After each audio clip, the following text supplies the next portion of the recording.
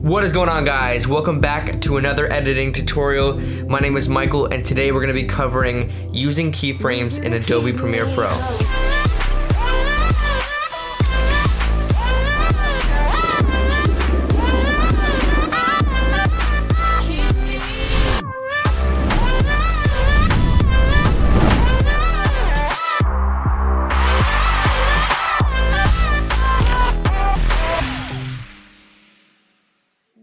Welcome back guys. Alright, so we are here in Adobe Premiere Pro and I brought in a photo uh, rather than a video just so you guys can see the effects of the keyframes and it probably will make a lot more sense if the image is not moving and it's just staying still to start with. Alright, so I have my photo down here in the timeline already so if you have a video that you're working with or if it's a photo, just drag it into the timeline. You're going to select it so it's highlighted and now in the effects control panel, this is where you're going to be doing all of our keyframing. So we're going to make this a little bit bigger so it's easier to see. I'm going to drag this out to the left just so we have a lot of real estate to work with up here. So before we concern ourselves with anything over here, we're just gonna play what we have in the timeline already and see that it's just an image, it's staying still, and it's not moving at all. Now, this is where keyframes come into play because we wanna make um, adjustments that we didn't shoot initially in the camera or that our image or whatever video isn't doing already. So we wanna zoom in, uh, shift to the left, shift to the right, whatever it is, we need movement to this image and keyframes is how we're gonna do it. So we're gonna go up here to the motion panel and below it says position and scale.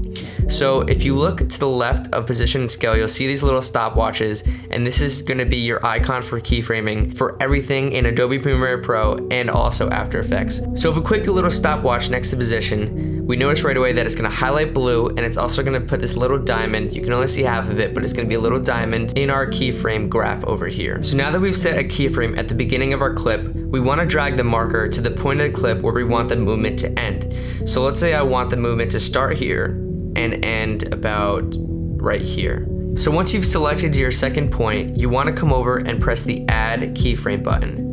Now that you have the two points inside of your keyframe graph, we're gonna wanna come over here and switch the values so that this actually moves over time. Because if you play it right now, it's gonna have no movement since we didn't adjust the values for the second keyframe. So if you're anywhere in here and you wanna go to the previous keyframe or the keyframe after go to these arrows and it'll go to the previous keyframe or the other one will go to the next keyframe. So now that we're on this keyframe right here, it's highlighted in blue. We know it's highlighted here and that represents that we're on the keyframe. We need to switch this value so that this movement is actually there. So let's say we want our image or whatever, our video to move to the right, shift to the right. We want to move the x-axis to the right. And now if you watch playback over time, it's going to shift between those keyframes. Okay, so now let's say we want in the middle of that, of this transformation, we want it to go downwards. Now let's watch. It's gonna go down and then back up to the end point. Obviously, there's endless ways to move the values, um, shift the frame. That's where the creativity all comes in. But there's actually a different way to do this, and I'll show you that right now. So if you want to delete all these keyframes, and you know you just don't like what you did, you come over to the stopwatch, press down, and then it'll ask you, do you want to delete all existing keyframes? You say yes, and this will wipe everything out. Now, an important thing to note is that you you deleted all the keyframes at this point over here. So at this point in the map, we have a giant black bar because the value is all the way shifted to the right. If we want the keyframes to be gone and we want to go back to the original point, we either need to delete here using the stopwatch and then reset it manually or go back to the beginning and then delete the keyframes from there and then you'll have your original frame. So now, if you want to just say, you know, I don't want to use these sliders, I want to just drag it on here, that's fine. You can also do that. You're going to come up to motion, press down, and it's going to give you this blue highlighted outline of your frame. So now if you press down again on the stopwatch to create your endpoint, your endpoint keyframe, drag to the point where you want the movement to end and move, press down and move this frame. Oh, we got to switch Okay, so you have to have this selected. This motion tab has to be highlighted so that the blue uh, outside bars come up. So now if want to move this from our original point, we can literally just come over, grab our frame, and move it wherever we want. See the values changing as I drag this around? So this is just an easier way to get where you want to without having to play with all the numbers. Um, so let's just say I like it down here. Now the keyframe is gonna go right where I want it to. Nice. So I really like that. Um, want to delete these keyframes. Remember, go to the watch, delete them. So let's work with scale. So let's say we want to keyframe starting here. So we set our endpoint. We drag to the point of our clip that we want. So I want to start here. Press the keyframe button. It's gonna set our endpoint keyframe. Drag to the part of the clip where we want the movement to end. So I want it to end right here. Then we need to switch this value. So I wanted to zoom in to 130.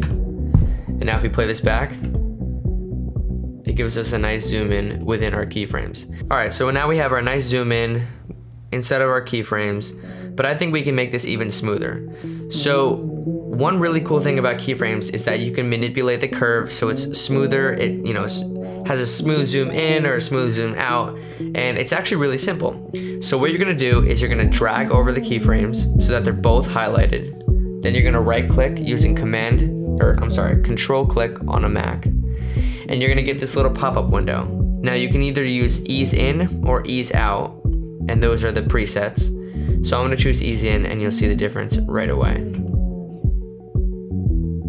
It's a lot smoother than this. It's just a little bit less jarring.